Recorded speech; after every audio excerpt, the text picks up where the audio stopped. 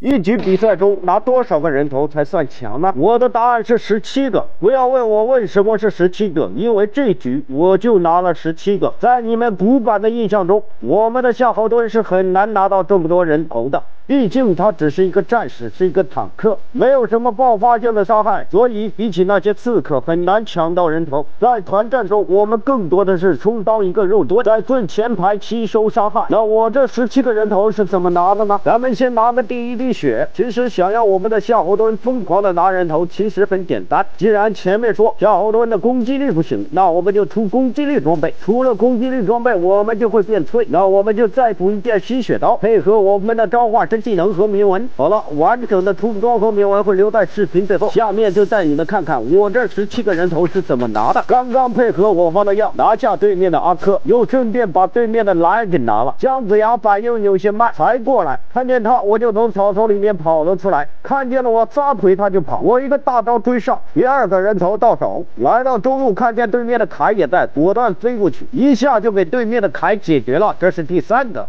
大招起飞，专飞对面的阿珂，没有定住他，不要慌，我们还有一技能可以继续击飞他。二技能打开护盾，继续给他减速，追到塔下两下普通攻击，这是第四个。中路正在团战，这个我们一定要参与，因为团战的时候比较混乱，你去里面补刀两下就能拿下人头。同样大招起手冲入敌方阵型，抡起我们的大刀就是一顿乱砍，一阵混乱之中，我们又拿下了辅助，这是第五个。本来想拿对面的红，但是突然看见射手。一个大招先定住，不要犹豫，三下五伏二，立马砍他拿下。这是第六个。此时我们显然已经陷入了阿珂和辅助的围攻，我们不要慌，开启狂暴，我们的血量瞬间补满，阿珂瞬间吓跑，辅助也想跑，我们一个大招解决他。这是第七个。来到上路，此时对面的卡还在塔的里面，但是我实在没忍住，一个大招飞了上去，扛着塔我就与他生死搏斗。即便他有塔的帮助，可他还不是我的对手。后面追过来一只蔡文姬，他一来。我就知道我的补血机器来了，狂暴一开，三刀，我的血量补满，他没了。这是第九个。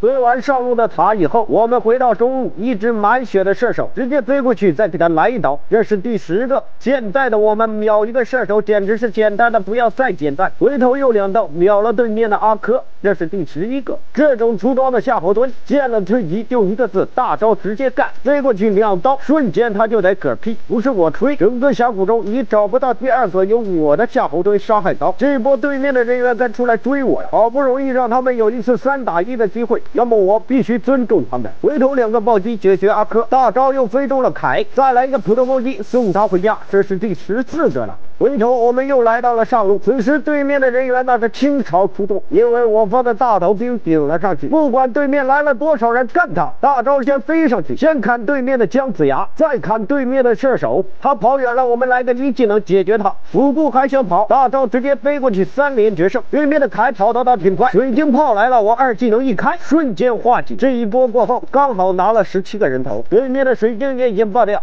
可谓是大局已定。下面我就来公布一下这局比。比赛用的铭文和装备，仅供大家参考，大家可以收藏保存。我们下期再见。